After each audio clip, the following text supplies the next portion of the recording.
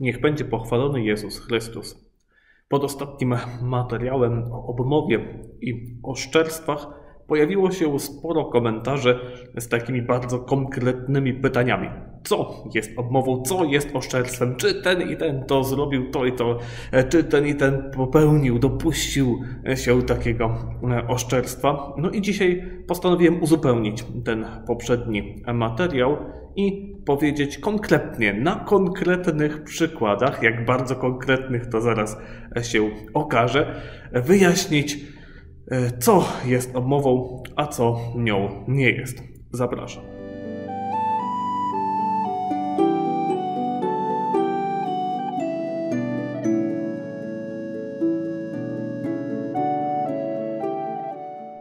Pojawiło się na przykład pytanie, a czy ksiądz czyli ten ksiądz, nie dopuszcza się e, obmowy albo nawet oszczerstwa e, wtedy, gdy e, oskarża księży o to, że w jakiś sposób głoszą prawdę niezgodne z katolicką wiarą.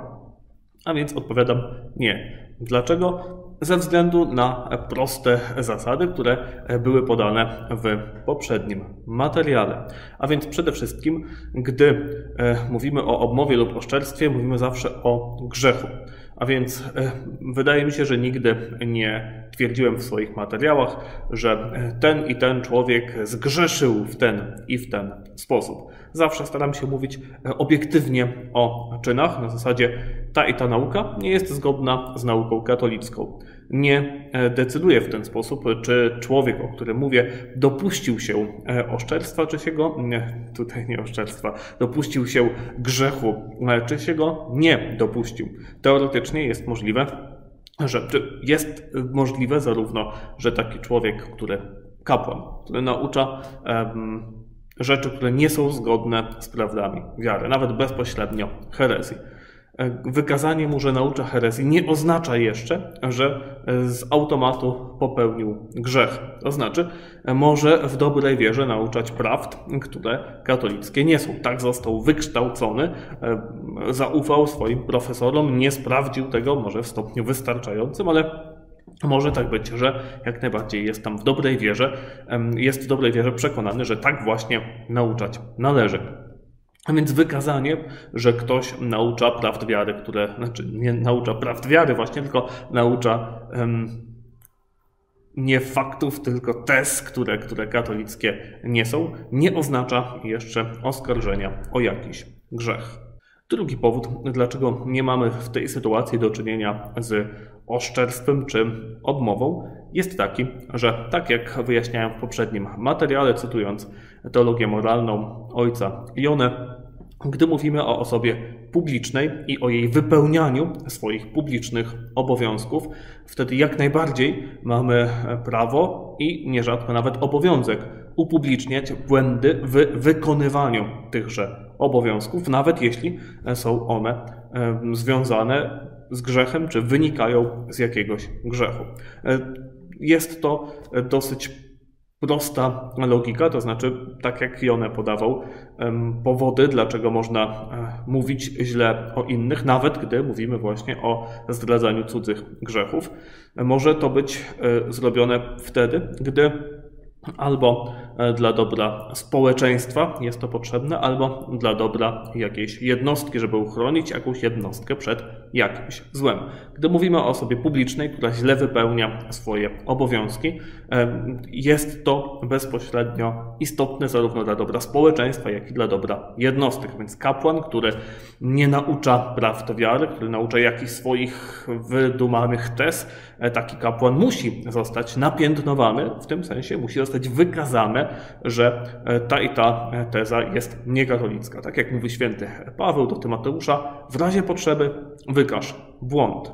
Jest to ścisły obowiązek kapłanów, aby wykazywać, e, co jest katolickie, a co jest niekatolickie i nie ma to, e, nie spełnia to prawie że żadnych kryteriów e, obmowy lub e, oszczerstwa. No oszczerstwa tym bardziej, no, tutaj rozumiemy, to musiało być w ogóle, musiałoby być jakieś, jakieś fałszywe oskarżenie o grzech. I podobieństwo jest tylko, powiedzmy, dosyć odległe.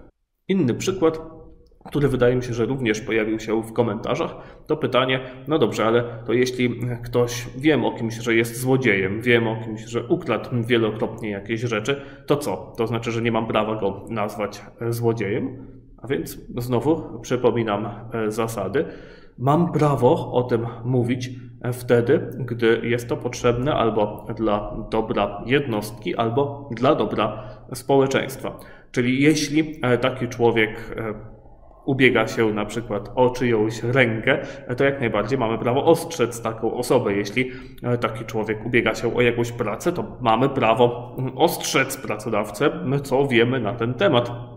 Natomiast e, nie mamy prawa rozgłaszać tego tak po prostu e, publicznie w mediach. Ewentualnie, jeśli faktycznie wiemy, że są zbrodnie, są one nieukarane, e, no to wtedy możemy mieć prawo albo nawet obowiązek, żeby donieść do organów ścigania i wtedy też, jeśli faktycznie mówimy o rzeczach poważnych, one zostaną zweryfikowane, sprawdzone. Natomiast donoszenie w takiej sytuacji do, powiedzmy, nie wiem, publikowanie na Facebooku wtedy tego, że ten człowiek jest złodziejem, złodziejem, będzie obmową, bardzo łatwo może być oszczerstwem również, bo co to znaczy, że ten ktoś jest złodziejem? Rzucimy to tak po prostu, bez przykładów, podamy jakieś przykłady. Jeśli któryś z tych przykładów się nie zgadza, no to wtedy będziemy mieli do czynienia z oszczerstwem. A więc tak, opublikowanie tego na Facebooku będzie bez wątpienia obmową albo e, nawet oszczerstwem. Natomiast w konkretnej sytuacji, wobec konkretnej osoby, jeśli na, na zachodzi potrzeba ostrzeżenia,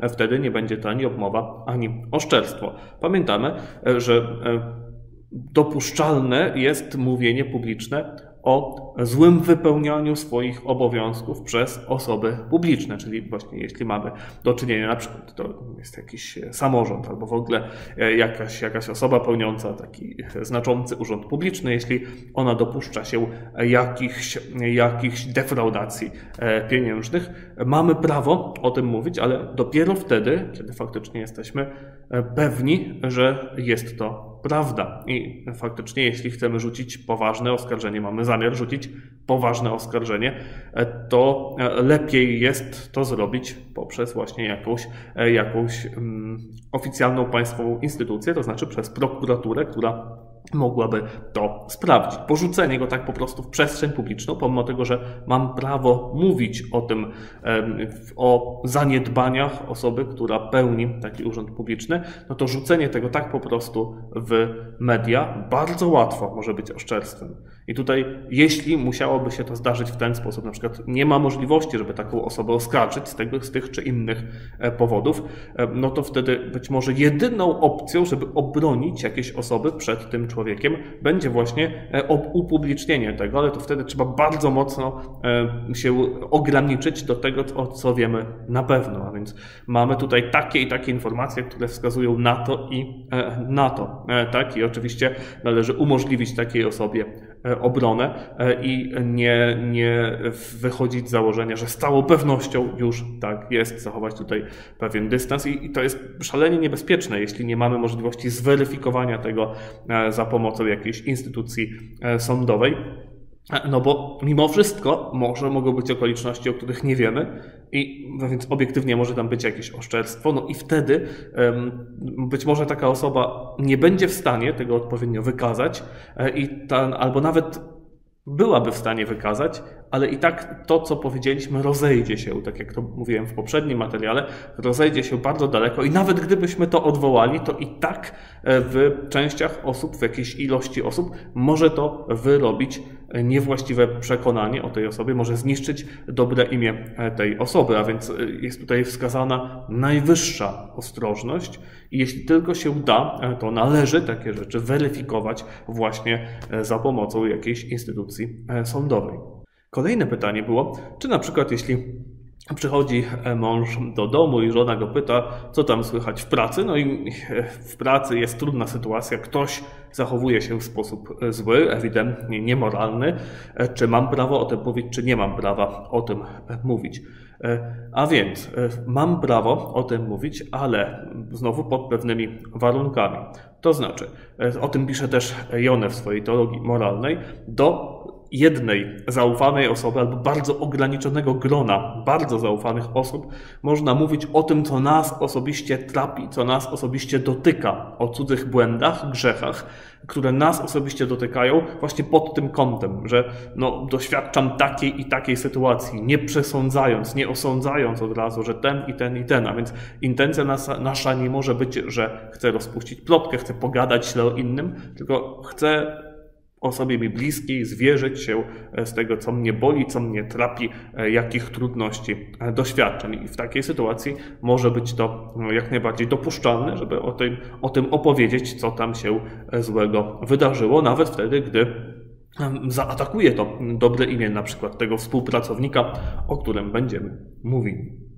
Inny przykład, który dosyć często pojawia się w komentarzach, ale nie w tym kontekście, nie w kontekście pytania, czy to jest oszczerstwo, e, raczej w kontekście pewnego zarzutu, to jest zarzucanie człowiekowi jakichś złych intencji albo zarzucanie mu publiczne jakiś przywar.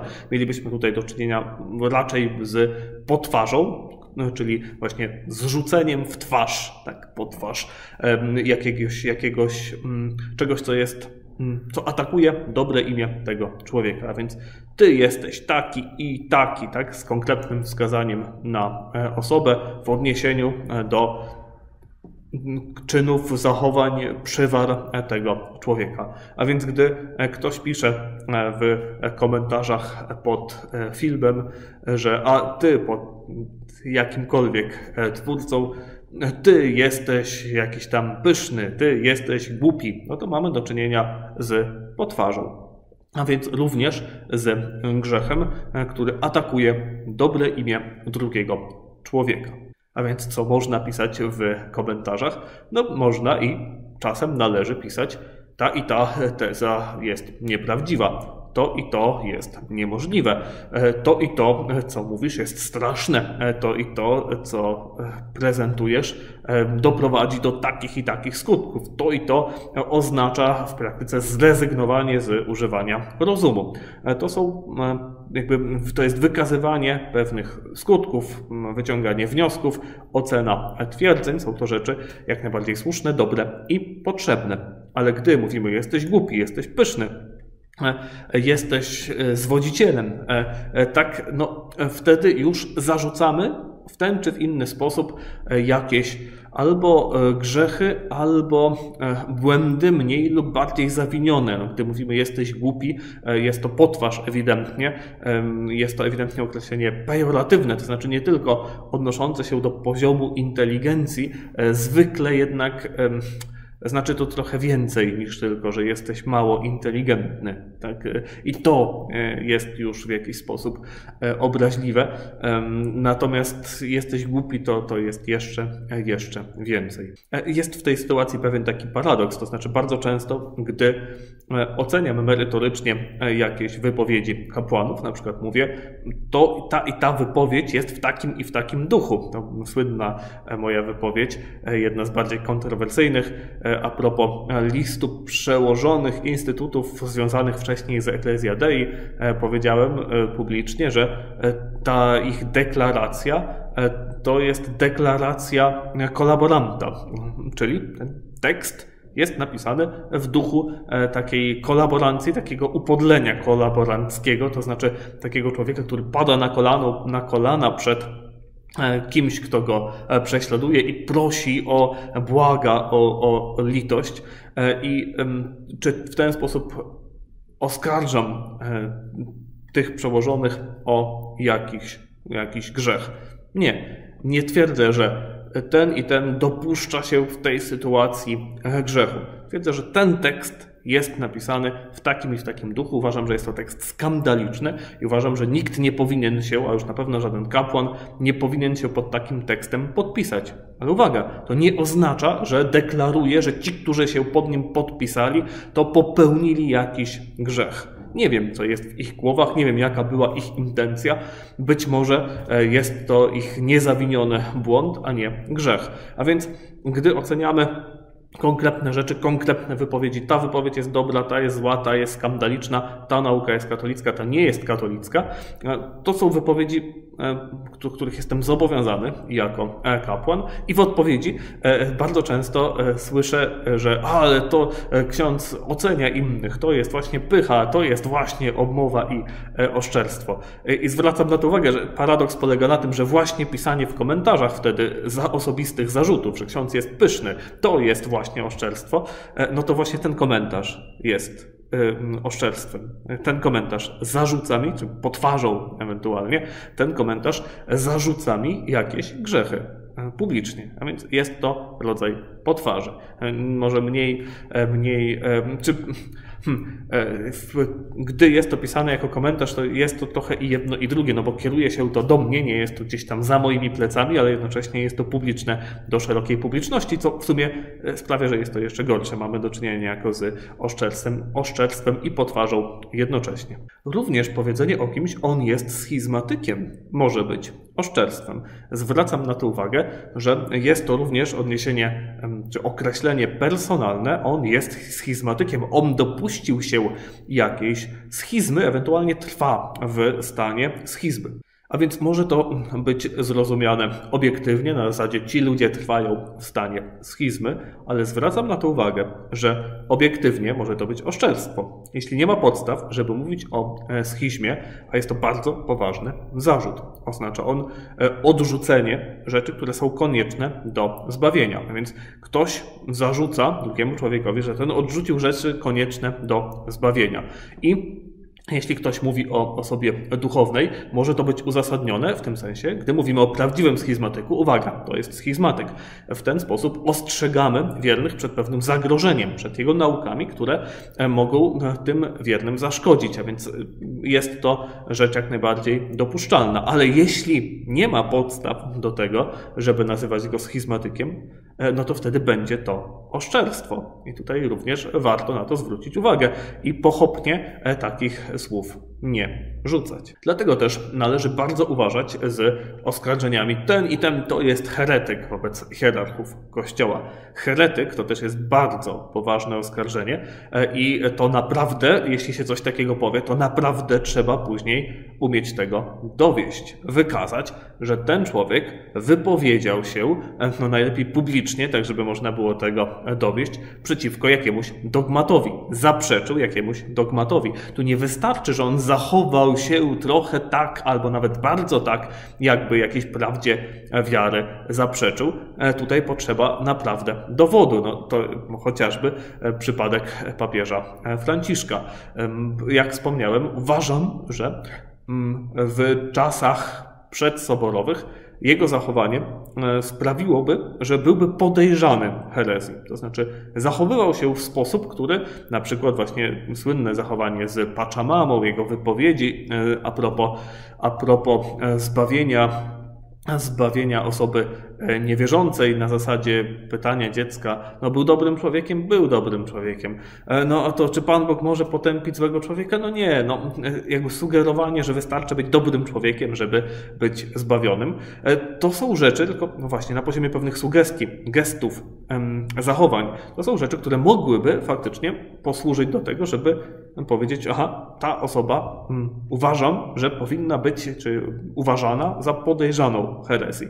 E, to jest rzecz moim zdaniem adekwatna do sytuacji. Natomiast powiedzenie on jest heretykiem, e, Tutaj trzeba naprawdę mieć dowód. I brak dowodu oznacza, że rzucam oszczerstwo. Tutaj również należy się mieć na baczności. Myślę, że, że również jest to rzecz e, właśnie powiedzmy w naszym tradycyjnym środowisku bardzo niebezpieczna. Myślę, że często, tak jak z drugiej strony często zdarza się, że nas oskarżają o schizmę i to uważam za, oszczer, za oszczerstwo tak, z naszej strony łatwo może się zdarzyć i pewnie często się e, zdarza, że rzucamy takie oskarżenia, o, e, ten to jest heretyk. No uwaga, jeśli to sobie tam mówię z moim przyjacielem i biorę to właśnie w taki cudzysłów, tak, na zasadzie, że wiemy jak to rozumieć, bo robi to i to i zachowuje się w taki w taki sposób, to możemy to rozumieć nie jako ścisły zarzut o herezję, ale to też trzeba bardzo uważać, bo to co dla nas jest jakoś tam właśnie w cudzysłowie, no dla postronnego słuchacza już może być, może być odebrane po prostu zgodnie z brzmieniem tych słów tak? i potraktowane jako bardzo poważny zarzut i może to właśnie niszczyć dobre imię danego człowieka. Czy to oznacza, że należy milczeć o osobach, które zagrażają naszej wierze. No nie, należy wykazywać, wykaż błąd. Należy wykazywać. To i to jest niezgodne z katolicką nauką. To i to jest już bliskie herezji. E, to i to jest szalenie niebezpieczne. To i to będzie prowadziło do utraty wiary. To jest zupełnie co innego niż powiedzenie, on jest heretykiem, on jest schizmatykiem, on jest jeszcze tam kimś innym. Odsyłam jeszcze raz do poprzedniego materiału, w którym wyjaśniam dokładnie e, zasady. Cytuję książkę księdza Skarżyńskiego, Rzecz o obmowie, plotkach i potwarzy. Tą książkę jeszcze raz bardzo serdecznie e, polecam. Naprawdę uważam, że każdy katolik powinien ją e, przeczytać, a i nie katolik być może również, bo są to rzeczy naprawdę kluczowe i niestety bardzo dzisiaj zapomniane. A więc odsyłam do tego materiału, odsyłam do tej książki. Przypominam również o tym, co tam było powiedziane o tych osobach, które dopuszczają się oszczerstwa, e, które rzucają publicznie bardzo poważne zarzuty bardzo różnego rodzaju, e, bez posiadania e, dowodów. Ksiądz Skarżyński w swojej książce jest tam niezwykle ostry w słowach. On uważa, że taka osoba, chociażby to było tylko takie podejrzenie, a być może on tutaj nie zrobił wystarczająco dużo, a być może tutaj to było jeszcze, a zobaczcie, tu się działo to i to, a ten nie zareagował. Ksiądz Skarżyński jest bezlitosny w ocenie moralnej i bardzo słusznie takich zachowań. On uważa, że taki człowiek jest jak ten trędowaty, który sam gnije i rozsiewa tą śmierć dookoła siebie. Jego dusza jest martwa, bo rzuca bardzo poważne oskarżenia bez wystarczających e, dowodów, e, bez wystarczającego sprawdzenia sprawy. W ten sposób zabija też duszę innych, tych, którzy chętnie mu w tym przytakują, tych, którzy biorą w tym udział, którzy w jakiś sposób to dalej przekazują. I nawet jeśli e, wyjdzie, że ta osoba była w tym i w tym e, niewinna, to i tak, i tak większość osób już, do większości osób już to, to naprawienie tego dobrego imienia nie dotrze i te szkody będą później na sądzie ostatecznym wobec oszczercy i każdego jego e, pomocnika wypomniane i osądzone i no, w cudzysłowie wynagrodzone. A więc naprawdę należy się tutaj mieć bardzo na baczności i w tych rzeczach drobnych, takich codziennych, małych, w cudzysłowie, oskarżeniach. Pamiętajmy, że oskarżenie heretyk, schizmatyk to wcale nie jest małe e, oskarżenie. Gdy myślimy o nim w, w kategorii moralnej, mówimy o tym, że on, to on jest burzycielem jedności Kościoła, no uwaga, to jest bardzo poważne oskarżenie. W zasadzie o e, grzech ciężki, być może rozumiany obiektywnie, być może nie. Nawet jeśli mówca rozumie je obiektywnie, to słuchacz e, może zrozumieć je subiektywnie, bo nie jest ono sformułowane jednoznacznie obiektywnie. Więc jednoznacznie obiektywnie e, byłoby to tak, że Uwaga, ten i ten człowiek nie uznaje papieża za głowę kościoła, na przykład e, prawosławny, e, i w ten sposób jest schizmatykiem i e, heretykiem. Tak, może to być, to jest jeszcze nie, nie zdefiniowane, czy faktycznie, i może to być równie dobrze w odniesieniu do człowieka, który w życiu tak naprawdę nie słyszał o kościele katolickim, albo słyszał bardzo mało, i być może on w jego duszy e, nie było, nie dokonał się nigdy ten akt schizmy, akt odłączenia od e, Kościoła, ale gdy mówimy o kimś, że to on burzy jedność Kościoła, no trudno e, powiedzieć później, że a nie, no to on, miałem na myśli, że, że on tego tak nie wie, że to tak przypadkiem tylko tak robi. Trudno to powiedzieć, a więc wydaje się być to raczej zarzut o bardzo poważny grzech. Jeśli nie mam wystarczających dowodów, żeby tak twierdzić, dopuszczam się bardzo poważnego oszczerstwa, które wydaje się spełniać wszystkie, wszystkie znamiona, mieć wszystkie znamiona grzechu ciężkiego, poważne, publiczne, jeśli takie jest, oskarżenie kogoś o grzech ciężki, więc naprawdę należy się tutaj mieć na baczności. Podobnie jeśli chodzi o tego heretyka, tak? tutaj również należy się mieć poważnie, bardzo na baczności. Przepraszam, jeszcze raz przypominam o książce księdza Skarżyńskiego i poprzednim materiale. Niech będzie pochwalony Jezus Chrystus.